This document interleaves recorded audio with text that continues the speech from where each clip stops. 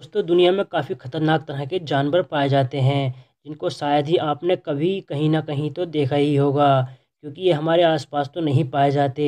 पर आज हम जिन जानवरों की बात करने वाले हैं, वो ज़्यादा गुस्से वाले स्वभाव के तो नहीं होते, पर कहा जाता है कि जब इनको गुस्सा आता है तो ये किसी भी हद तक खतरनाक साबित हो सकते हैं। यही हम देखने वाले हैं, जो अपने बचाव के लिए शेर जैसे जानवर को भी दौड़ा दौड़ा के मार सकते हैं। तो दोस्तों लास्ट वाले जानवर की शेर के साथ मुलाकात कैसी होगी, ये ज़रूर देखना। हिप्पोपोटामस। दोस्तों, हिप्पो के बारे में तो शायद आप सभी जानते होंगे कि ये अफ्रीका का मूल निवासी है। दोस्तों, इनको दुनिया का सबसे खतरनाक जानवर भी कहा जाता है। इनके बारे में कहा जाता है कि ये सांसा दिखने वाला जानवर हर किसी जानवर से पंगा लेता रहता है, चाहे वो हाथी हो, मगरमच्छ हो या गेंडा हो। इन हिप्पो के बारे में एक बात और फ़ेमस है कि ये काफ़ी सारे जानवरों का शिकार होते हुए उनकी जान भी बचाई है। इस वीडियो में आप देख सकते हैं कि कैसे हिप्पोस ने एक जेबरा की मगरमच्छ से जान बचाई। यहाँ आप देख सकते हैं कि किस तरह से इस हिप्पो ने शेर के सर को पकड़कर घुमा दिया। शेर भी सोच रहा होगा, आज तो बाप से ही पंगा ले लिया। दोस्तों, अगर आपको गलती से भी हिप्पो दिखाई दे जाए तो उसके पास जाने की गलती कभी मत करना। इनके जबड़े बहुत ही शक्तिशाली और इनके दांत बहुत ही ज़्यादा खतरनाक होते हैं। हैं। Giraffe.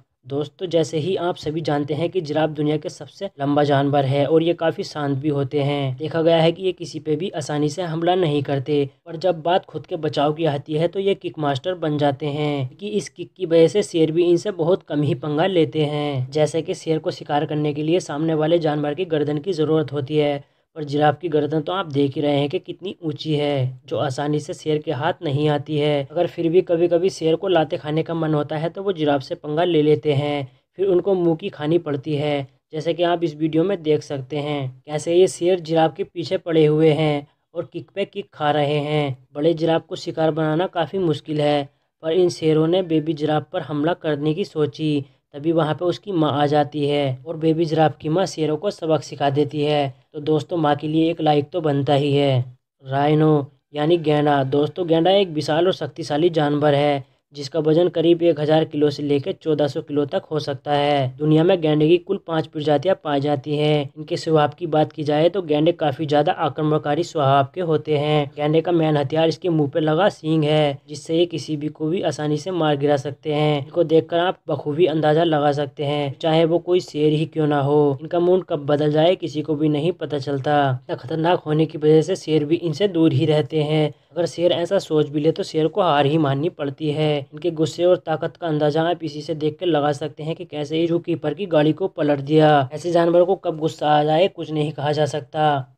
Cape buffalo cape buffalo Africa में सबसे ज़्यादा पाए जाने वाला जानवरों में से एक है, जिसको अफ्रीकन फॉरेस्ट बुफेलो भी कहा जाता है। ये अपने झुंड के साथ रहना पसंद करती हैं।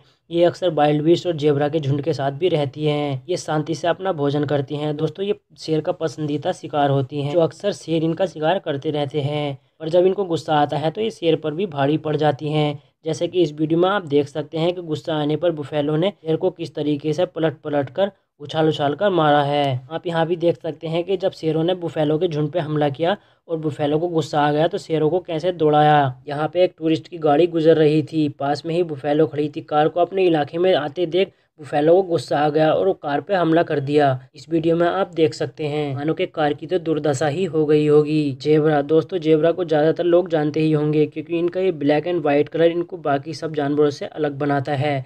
दोस्तों, जेबरा खास करके ये अफ्रीका के जंगलों में ही पाए जाते हैं। इनका वज़न 300 से लेकर 500 किलो तक हो सकता है। इनकी भागने की क्षमता काफ़ी ज़्यादा होती है, जिससे ये कम से कम पैंसठ किलोमीटर प्रति घंटा की रफ्तार से भाग सकते हैं।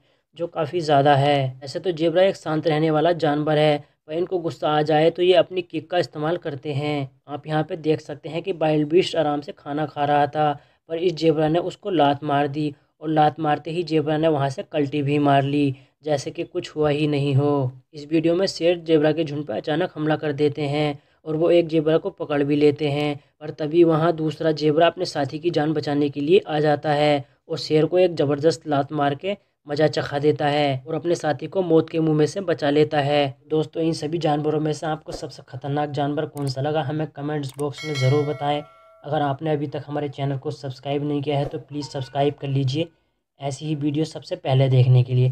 तो दोस्तों, अपना ख्याल रखिएगा, तब तक के लिए गुड बाय।